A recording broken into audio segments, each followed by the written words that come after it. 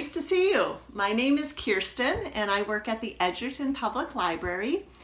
And I'm glad you're logging in for our episode of Library Shorts. Uh, librarians at all the Arrowhead Library System libraries are putting together this series of short videos on a variety of subjects. So I hope you'll uh, enjoy what I have to share today and tune into all the other great videos that we have coming this week.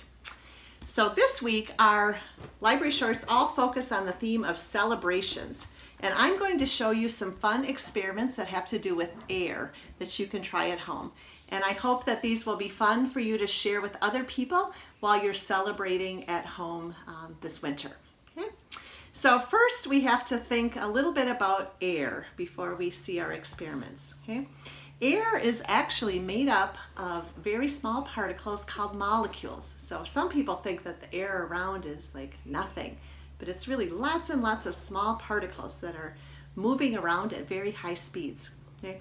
Most of the air around us is made of a gas called nitrogen and uh, another main component is oxygen. So you're probably familiar with breathing in oxygen, okay? but that's not the main part of air. Okay? One thing that can demonstrate that air uh, is made up of something is by blowing up a balloon. Okay? So when you put air into the balloon, uh, it now takes up space. And if I were to weigh this balloon on a scale, um, it would weigh more now that there's something inside of it. So um, I add air to the balloon and it now has mass and volume. Okay. And one of the really interesting things about all those moving particles um, is when they're moving, they bump into things, and that exerts a force. And due to forces, lots of very interesting things happen.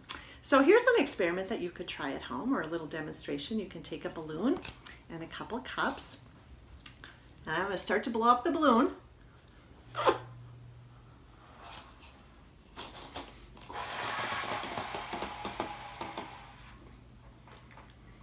And get those cups to stay on the balloon. Okay?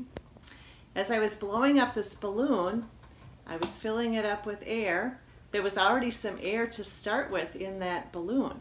Okay? And the space inside this cup actually was getting smaller, excuse me, getting bigger and bigger as I was filling up the, uh, filling up the balloon here. So the pressure inside of the cup decreases and the air pressure outside is pushing those cups onto the balloon. Let's see what happens when I let go of the balloon and let some air out. Cups fell off. So that's a fun one that you can try at home. Okay.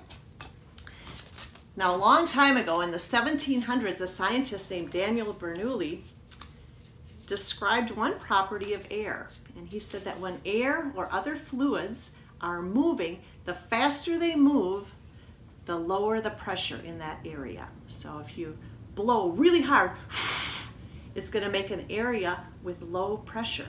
Okay? And as a result, some cool things happen.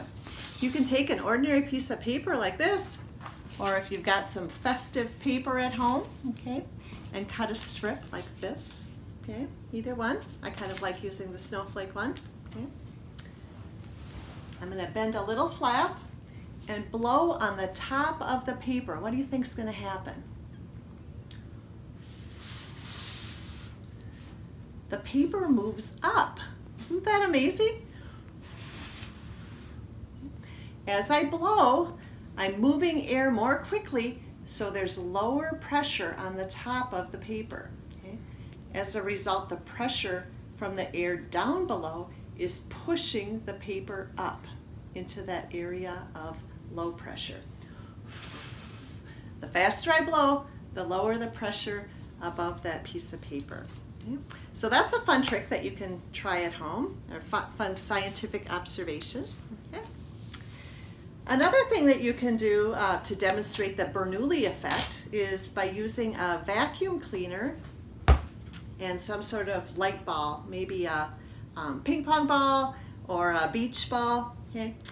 Now my shop vac has two openings for air. One is pulling air in and one is pushing air out. So I'm going to use the side that the air is blowing out. And remember, the faster the air moving, it creates an area of low pressure. So it's going to get noisy, but I'm going to turn the vacuum on and then I'm going to put, let's get it to light up. I'm going to put this ball right here and we'll see what happens.